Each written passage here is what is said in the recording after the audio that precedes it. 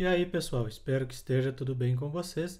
Neste vídeo a gente vai aprender a carregar uma lista de meses automaticamente para um objeto VBA Combo Box somente via códigos VBA. Não precisa ter a lista salva lá na planilha.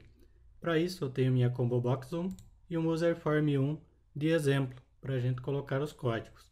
Vou dar um duplo clique sobre o formulário e no evento Initialize do formulário eu vou colocar o código que vai criar esta lista de meses automaticamente. Então eu vou escrever o seguinte, for i vai ser igual de 1 to 12 e next.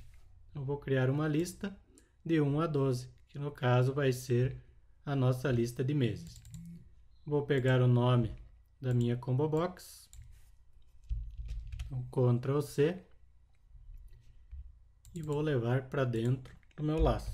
Combo box 1 ponto add item, add item, ele vai adicionar mont name a minha lista de acordo com a posição. Então, de acordo com o i, ele vai colocar os meses. Simples assim. Vamos executar o formulário para ver se a lista está sendo montada. E bingo, lá está a nossa lista de meses automática. Eu ainda posso incrementar colocando um código para transformar esse nome do mês em caixa alta. Para isso eu dou um duplo clique na Combo Box e dentro do Event Change posso pegar o nome dela mesmo, Ctrl C, Ctrl V, Combo Box 1 vai ser igual o case, abro parênteses, Combo Box 1 ponto text.